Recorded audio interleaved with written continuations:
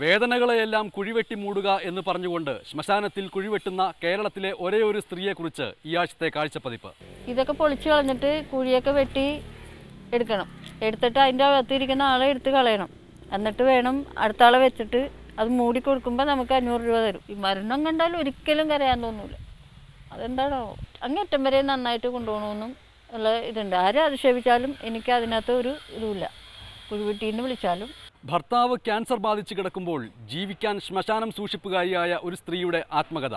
കാണുക കാഴ്ചപ്പതിപ്പ്.